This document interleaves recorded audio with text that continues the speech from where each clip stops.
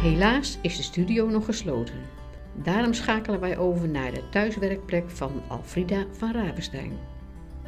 Hallo, weer een nieuw avontuur vanuit de thuiswerkplek. De aanleiding is dit plaatje rechts onder in beeld. Het komt uit een boek over onder andere onderhoud van bermen, walkanten, rivieroevers en dijken. Onder het plaatje staat: Schapen zijn goed voor de dijk.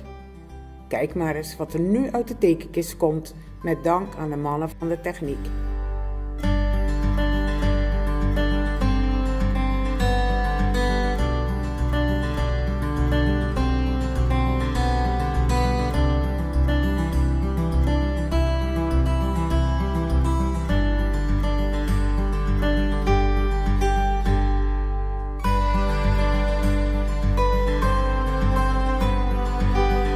Tja, als je het dan toch zelf gaat proberen.